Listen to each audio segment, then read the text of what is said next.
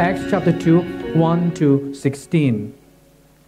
My question to you today, before we turn to our text, is this What was it about early Christianity that spread like wildfire throughout the Mediterranean world? what makes Christianity world's largest religion today, with 33% or so of the world's population and about 2.3 something billion believers across the world?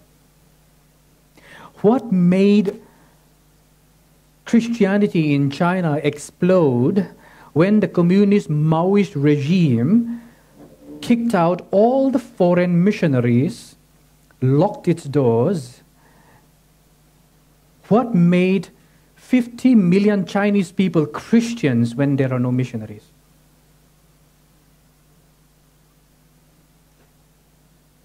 For most Christians, the word Pentecost reminds us of speaking in unknown tongues, gibberish tongues, as it is known in some Christian circles today. But how are we to understand this phenom- phenomenon, this strange phenomenon? Is speaking in unknown tongues a right understanding of this text? One thing is clear from this passage Pentecost is the day the Holy Spirit came with spiritual power upon the disciples. And so here are the three insights on the work of the Holy Spirit from our passage today.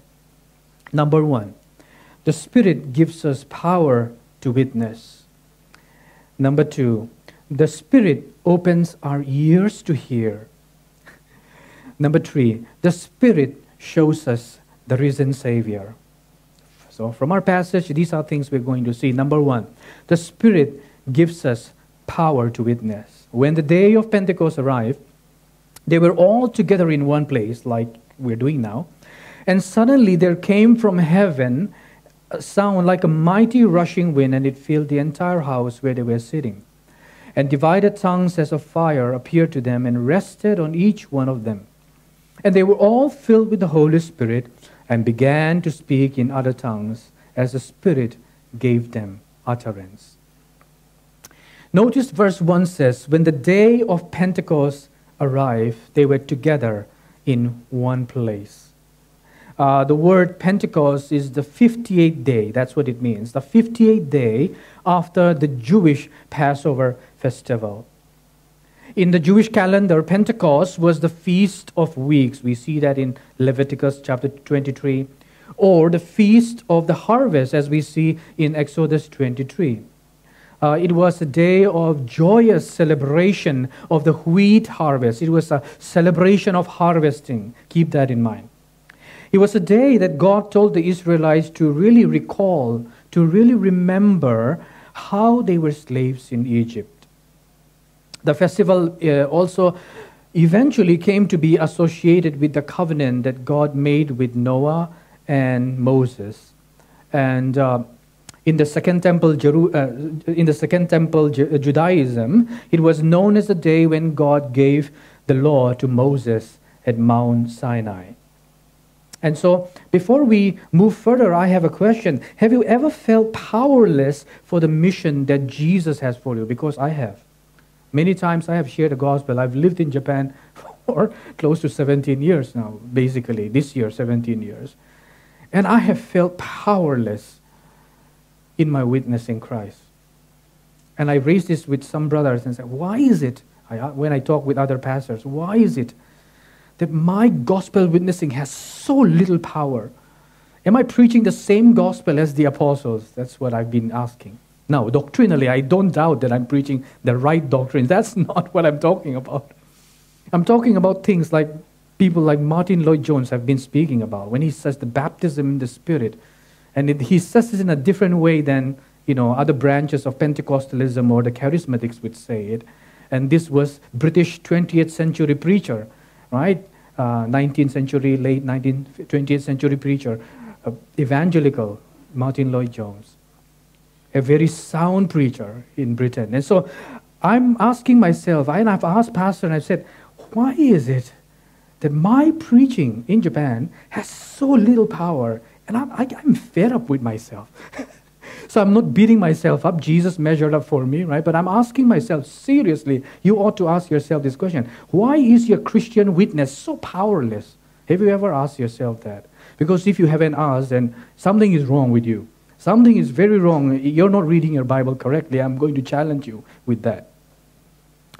So, are you, have you ever felt powerless for the mission that Jesus has for you? Because if you feel up to it, then something is wrong. You're confident with yourself, and the Holy Spirit will often tear that down. 17 years in Japan has stripped down those kind of prideful confidence that I had as a young pastor.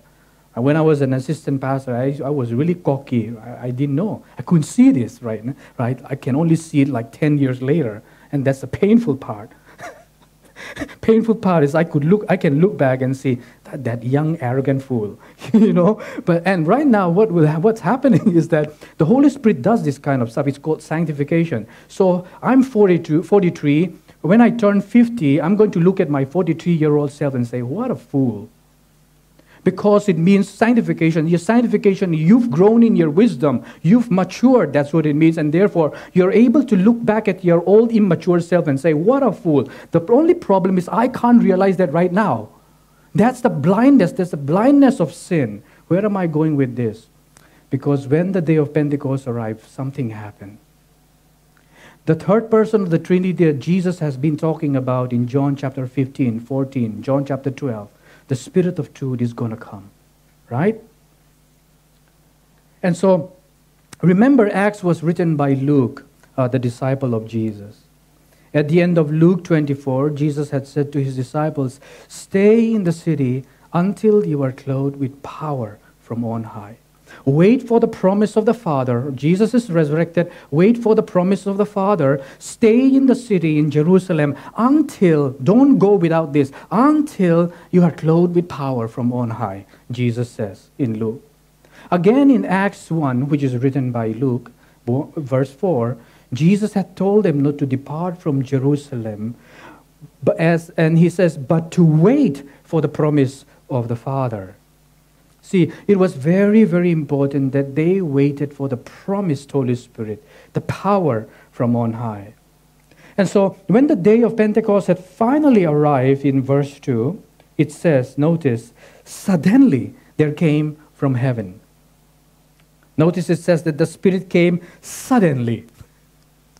Back in Mount Sinai, God had given His law to Israel, but on Pentecost, God pours out His Spirit upon his people. So, if you're new to the Christian faith, maybe you have friends that are new to Christianity, here again we see the difference between other religions and Christianity. Every major religion says you must do this and that to be in heaven with God. But Christianity says God has come down from heaven. Much like in the incarnation, the Holy Spirit has come down from heaven, it says. It says the Spirit of God came suddenly uh, suddenly, it says, there came from heaven like a mighty rushing wind. And again, this was not a literal wind, right? When Jesus spoke to Nicodemus in uh, John 3 8, he says, The wind blows where it wishes, and you hear its sound, but you do not know where it comes from or where it goes. So it is everyone who is born of the Spirit. The wind blows where, where it pleases. Wherever it pleases, you hear the sound, you do not know where it comes or where it goes, Jesus says. Jesus says, You can't control this. It came suddenly. The Holy Spirit cannot be manipulated, controlled. He's sovereign. He does whatever He pleases. He's the third person of the Trinity. He works whenever He wants. He cannot be controlled. But there's one thing we need to see we can pray for the Holy Spirit as they were doing, right? Um, Wind here means spirit, it also means breath. Uh, and so this reminds us again that Christianity is in a suffocating and stifling religion. If your Christian life is stifling, you need to question that, right?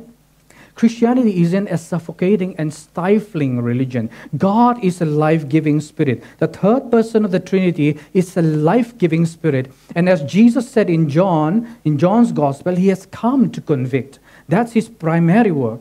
That's why I was telling you about how stupid I, I, I am right now and I'm, I don't realize it.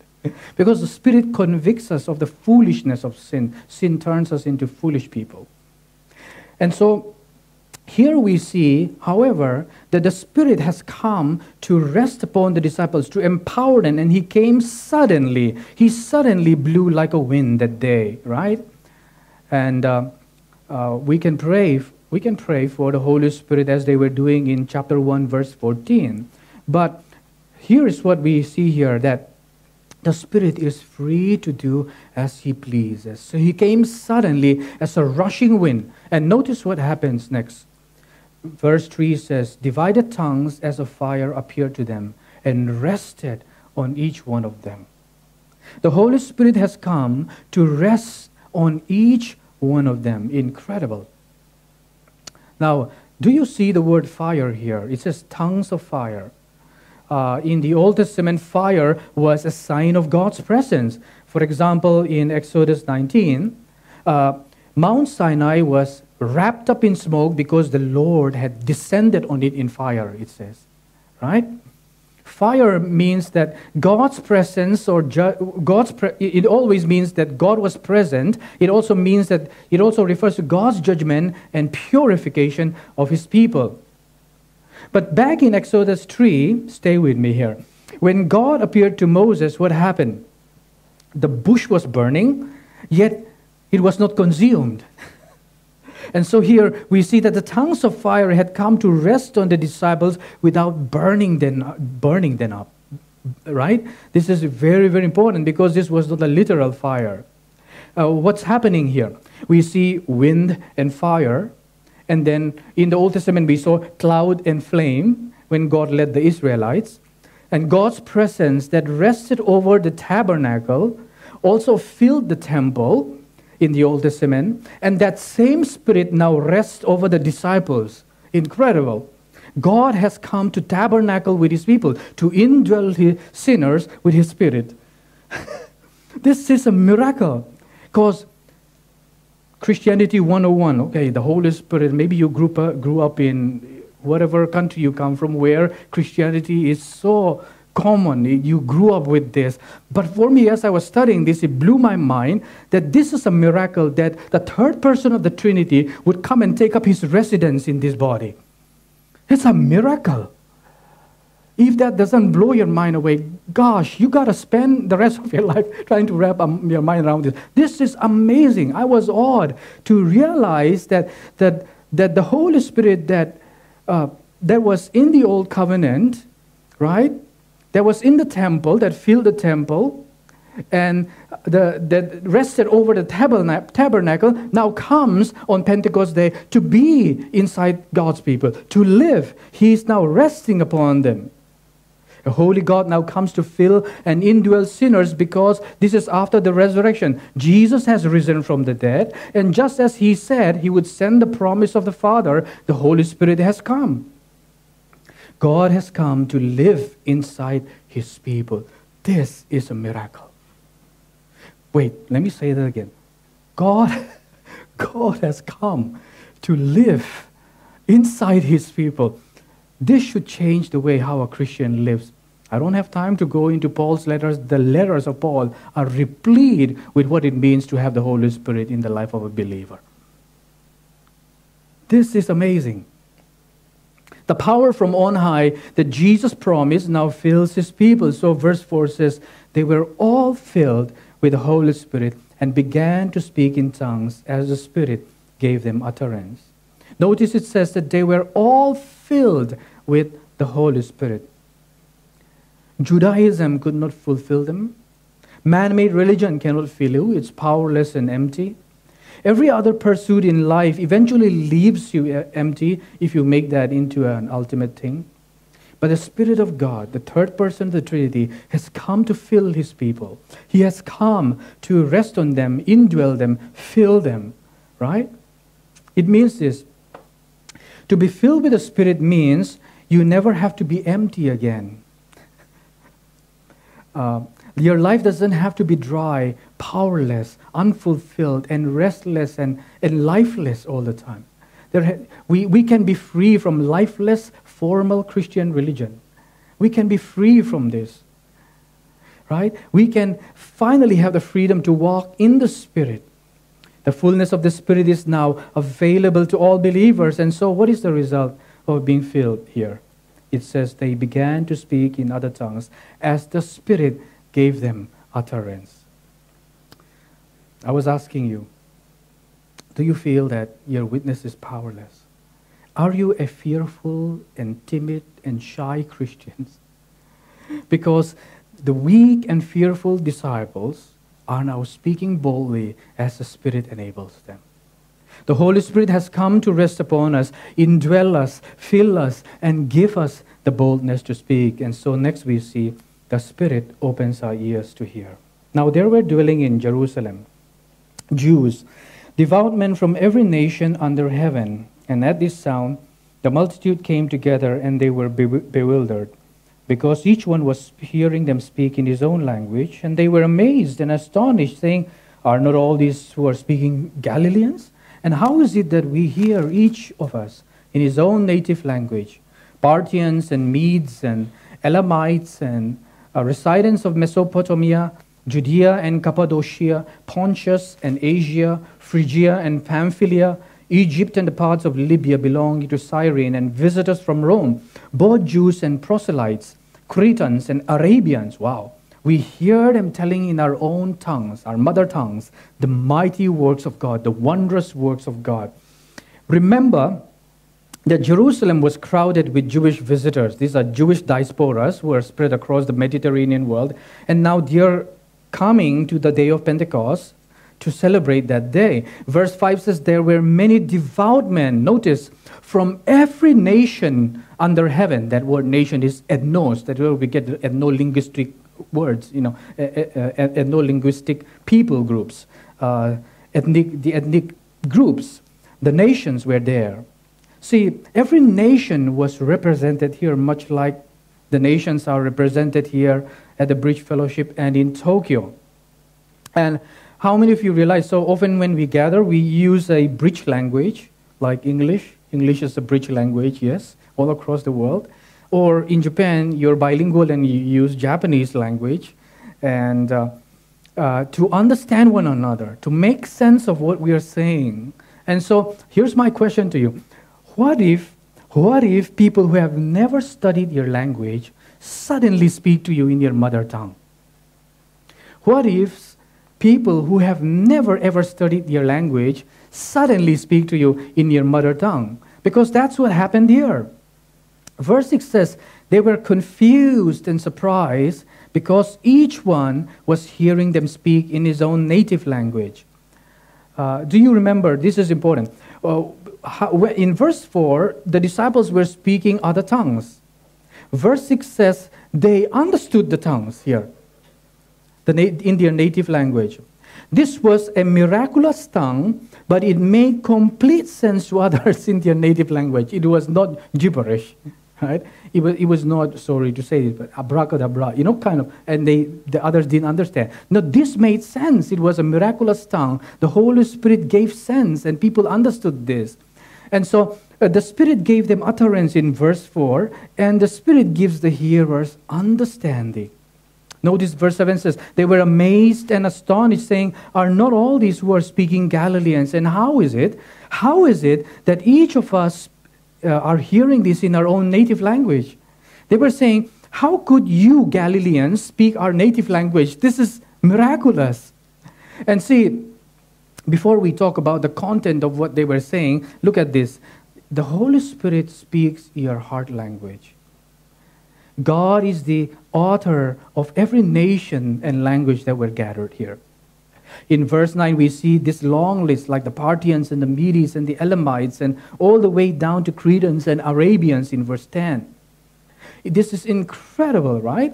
This was the beginning of the first multi ethnic, multilingual international church. This was the birth of this wonderful international church. Do you remember the Tower of Babel. How many of you know the story of Babel? Yeah? In Genesis 11, in the Old Testament. See, Pentecost is a total reversal of what happened at Babel.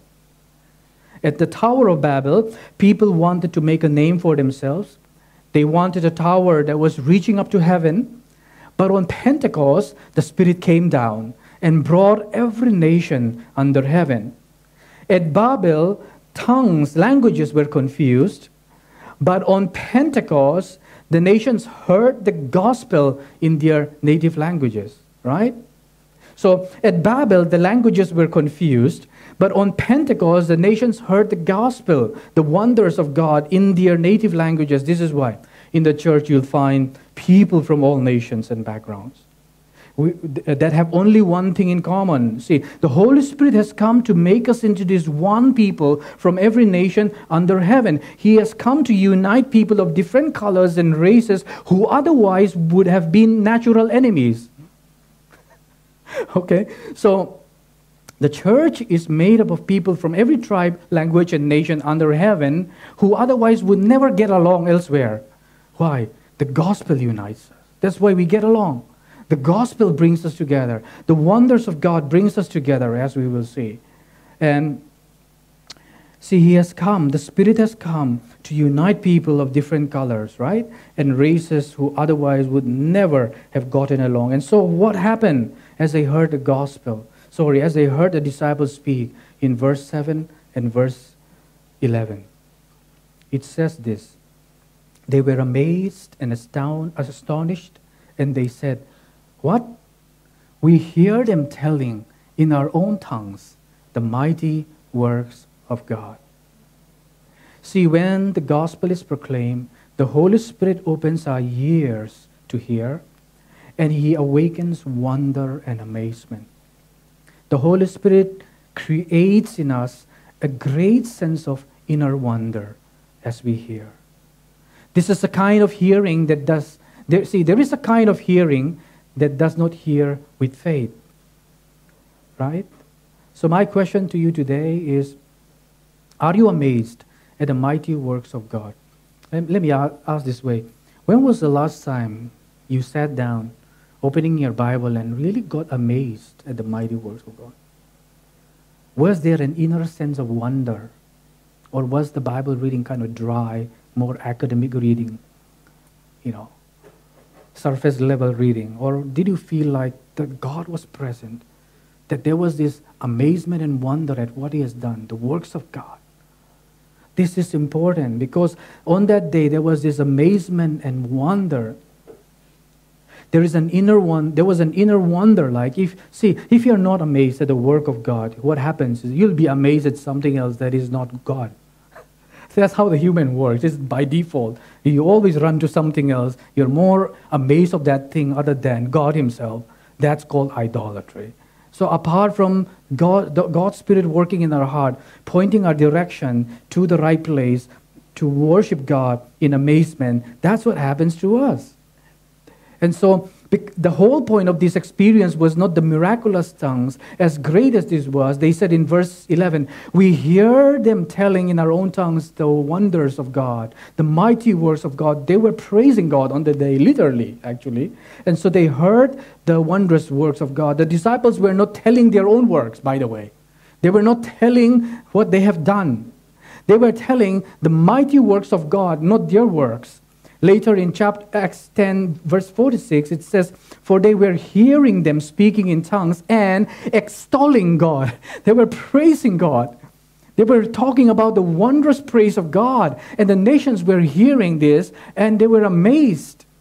They were praising God, and others were amazed as they heard the wonders of God. Do you see the difference here? Uh, that these disciples were not talking about their own works but the works of God. They were not speaking about themselves, but the works of God, because that's where the power is. This is where the power is. And this is what amazes the heart of the hearers. See, Christianity is not primarily about what we do for God, it's mainly about the works God has done for us. Christianity is not primarily the works that we do for God. Christianity is primarily about the works that God has done for us, God is doing in us, God is doing through us. There's a difference, right? See, if we have experienced the presence and power of the Holy Spirit, I'm asking myself, how, how can I possibly keep silent about the wondrous works of God? If I have the presence and the power of the Holy Spirit, how can I possibly keep silent about the wonders of God? Because it will result in praising the wonders of God. If we have seen the mighty works of God, we won't be able to keep silent about it. Your heart, your mouth speaks what your heart loves. Your mouth naturally commends that which your heart loves most. Let me say it again. My mouth commends to others what I am naturally inclined to love. So if my heart is captivated by something and I find that the mountain there is, Mount Fuji is beautiful, what do I say? My wife doesn't need to tell me, say Mount Fuji is beautiful, say Mount Fuji is beautiful, say Mount Fuji is beautiful. That's what you say to a kid. And they say, Mount Fuji is beautiful. No, how do I know Mount Fuji is beautiful? My eyes saw the grandeur of Mount Fuji, and what my mouth says it's beautiful. You got up in the morning, the sun rose, and then what did you say? Beautiful day. Your eyes saw the beautiful day, and you said, Beautiful day. Your mouth commends what your heart loves. The Holy Spirit came upon the people opens the eyes of their understanding, their hearts. They were amazed. And then they heard the apostles who were also amazed and speaking the wonders of God. Incredible. It was natural. It's a natural response. Our hearts were made like that. God made us to be that way, right? And so if we have seen the mighty works of God, we won't keep silent about them. When you taste sushi, you say, sushi is tasty. Nobody need to tell you sushi is tasty because you've tasted it. It would be so foolish for me to come and say, as your pastor, tell it to your non Christian friends, sushi is tasty, sushi is tasty. Sunday after Sunday, go tell your non Christian friends, sushi is tasty, sushi is tasty. No, if the good news of God is good news to you, you won't keep silent. You won't keep silent. It's a natural response to the experience of God's grace. Praise is the natural response to the experience of God's grace in your heart, not in your head. So, the Holy Spirit has come to show us the wonders of God so that we might tell it to the nations. They were amazed and said, We hear them telling in our own tongues the mighty words of God. Where are the mighty words of God? See, where are the mighty words of God powerfully seen? The mighty works of God are powerfully seen on the work of Christ on the cross. And so finally, we see the Spirit shows us the risen Savior. And all were amazed and perplexed, saying to one another, What does this mean? But others mocking says, They are filled with new wine. But Peter, standing with the eleven, lifted up his voice and addressed them, Men of Judea and all who dwell in Jerusalem, let this be known to you and give ear to my words. For these people are not drunk, as you suppose, since this is only, only the third hour of the day.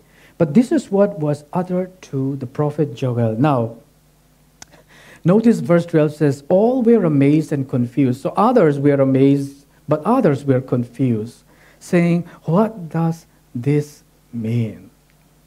While they could hear their, uh, this in their own language, they did not fully understand the meaning. And so, uh, this is why I was telling you sometimes I feel my witnessing is so powerless not, sometimes it's not because they didn't understand the message in their language or they didn't understand what, I was commu- what you were communicating. It's because of this that unless the Spirit opens up the eyes of their understanding, the natural man does not understand the things of the Spirit of God, said the Apostle Paul. That is there. And so while they could hear this in their own language, they did not fully understand the meaning. And so if you are new to Christianity, see, you, you may be wondering, what does this mean? Do you see two types of responses here? Some people were seriously asking, what does this mean? And then the other group, what happened? Were mocking. We'll come to that. See, these people were saying, What does this mean? And I love this because they wanted an explanation of the phenomenon. They were not satisfied with just the religious frenzy what they, that they saw. They were not satisfied with the strange phenomenon that they saw. They wanted an explanation. The Spirit is the Spirit of truth. They want the truth. They wanted more teaching. There are people who really, really wanted to know more. And so, if you're new and you're seeking to understand the Christian faith, look, We love to listen and answer your questions. We are not afraid of any difficult questions, by the way. See, these honest hearers wanted more answers. They said, What does this mean? Right? And later in verse 41, we see that under Peter's preaching, biblical preaching, 3,000 souls were saved that day. But others here in verse 13 said, they were making fun of them and saying, they are filled with new wine. These people are drunk, right? See, let me just say this. It's very, very easy to mock the things of God we don't understand. It's very easy to mock and write off the things of God we don't understand. It's actually inte- intellectually dishonest to mock Christianity without seeking to understand more. Because the natural mind does not easily understand the supernatural things of the Spirit. It's easier to arrive at our own conclusions about spiritual things we don't quite understand or what we haven't experienced. They are drunk with new wine.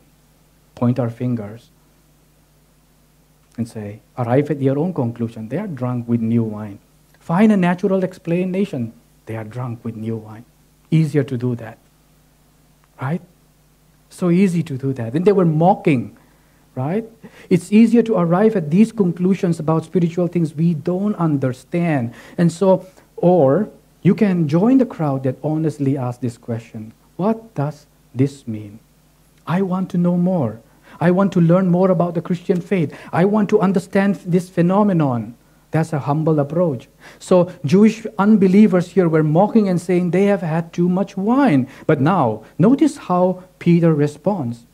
He says in verse 15, For these people are not drunk as you suppose, since it is only the third hour of the day.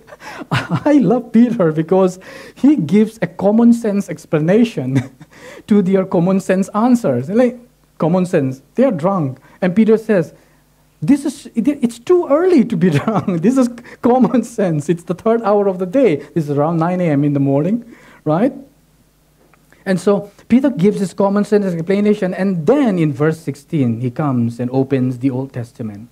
And he says this But this, this phenomenon, was what was uttered to the prophet Joel. See, at this point, Peter quotes prophet Joel's prophecy about the coming of the day of the Lord.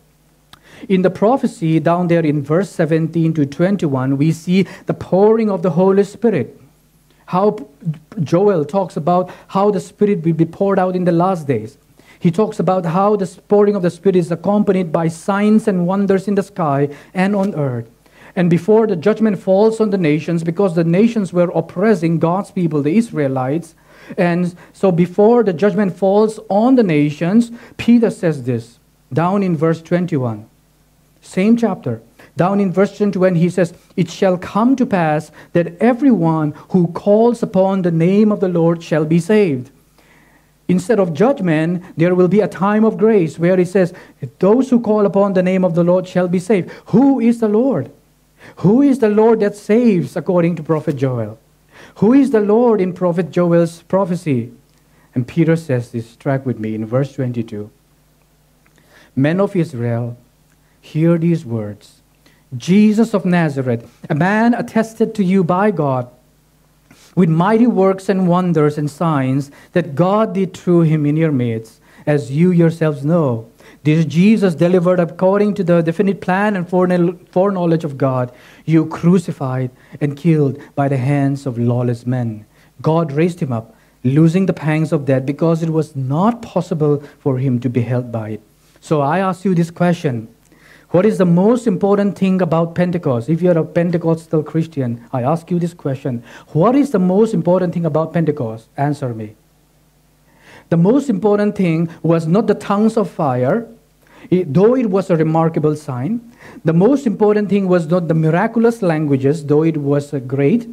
The most important thing was what Joel's prophecy said 800 years before Christ. And that was pointing forward to what Peter explains here. The outpouring of the Holy Spirit on Pentecost, right, was to show Christ, Christ the Lord.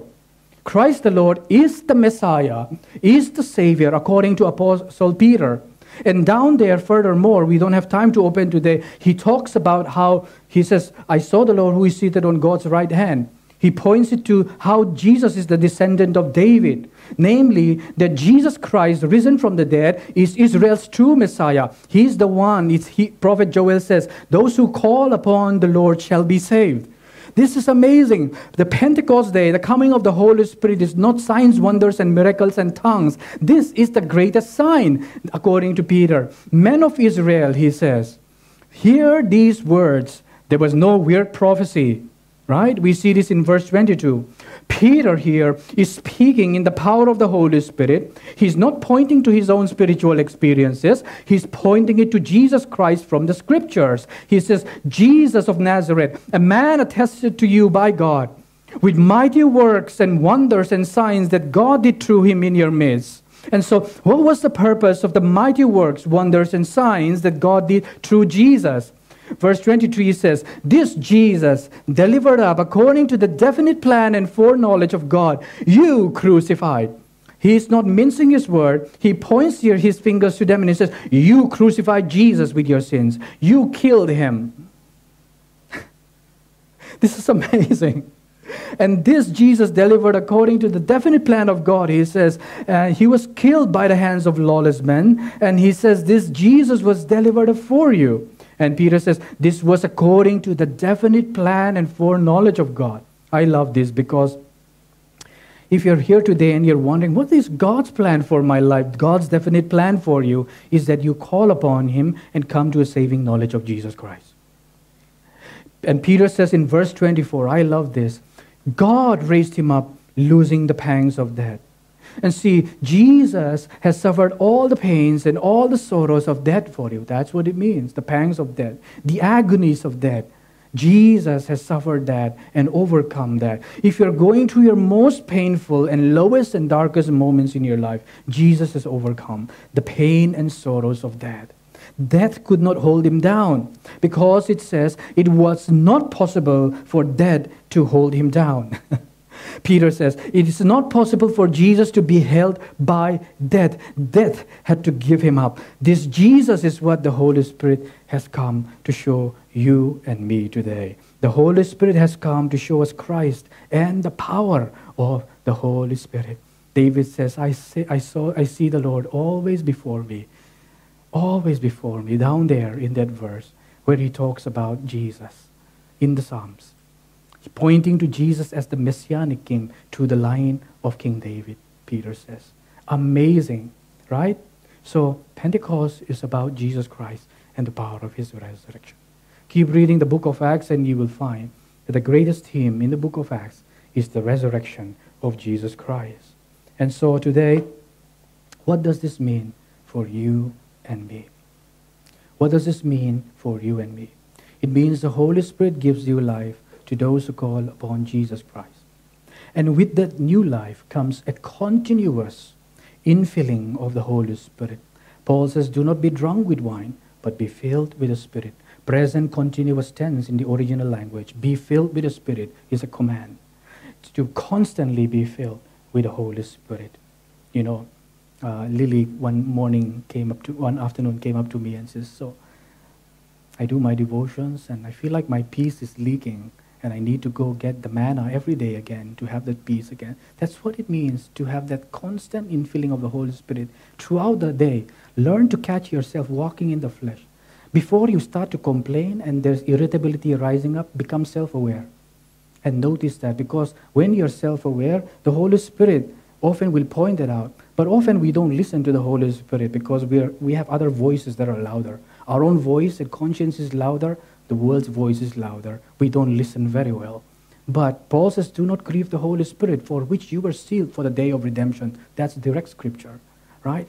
Means walking by the Spirit. Walk by the Spirit, you will not fulfill the lust of the flesh.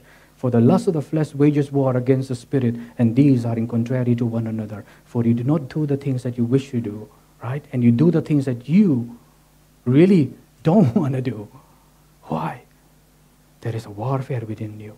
May I submit to you, with all respect, your majority of your problems in times of COVID 19 is not COVID 19 or the circumstances, it's your heart. Majority of the problems are inside you, and the Holy Spirit has come to liberate you from that. Jesus Christ has come. He's risen. The resurrection power of Christ is at work. He's called us to a life of repentance, renewal, and faith so that we may walk with Him. And He does that for our good. He loves us and gave Himself for us. The Son of God who loved me and gave Himself for me. Galatians 2.20, the Apostle Paul says. Walk by the Spirit. If we live by the Spirit, let us also keep in step with the Holy Spirit. Galatians chapter 5. Those who belong to Christ have crucified the flesh along with its passions and its desire. That's what it means to be filled by the Holy Spirit. When the Spirit of truth will come, He will convict the world of sin, righteousness, and judgment. That's the Holy Spirit. He convicts you. Conviction is different from condemnation. There is now therefore no condemnation to those who are in Christ Jesus. Romans chapter 8, verse 1. You are not condemned. The penalty has been paid. Jesus Christ is raised from the dead. But that same chapter in Romans 8 also says, about the walk of the Holy Spirit. That if we are led by the Spirit of God, he says, those who are led by the Spirit of God, these are the sons of God. Are you paying attention to the leadership of the Holy Spirit? If you're a believer, you do. You just, you're just not aware. Some of you do. May I suggest to you that the fact that you're here today worshiping, even though you didn't feel like it, and you said to your feelings, shut up, and you came, that's how you walk by the Spirit. Some thoughts uh, that come against God comes in your mind, and your flesh doesn't want to do it, but then you tell your thoughts, shut up, I'm going to obey my Father. I love my Father. Those who are led by the Spirit of God, these are the sons of God.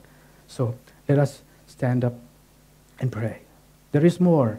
He wants to really fill us so the being filled with the Spirit means that we learn to walk with Him, keep in step with the Holy Spirit. We miss it sometimes, but Jesus has walked the perfect walk we couldn't walk. Jesus has fulfilled the law for us. The law of the Spirit, Jesus fulfills, even the law of the Spirit. Jesus has measured up where we didn't measure up this week. Maybe you had a fight and a quarrel with somebody this week.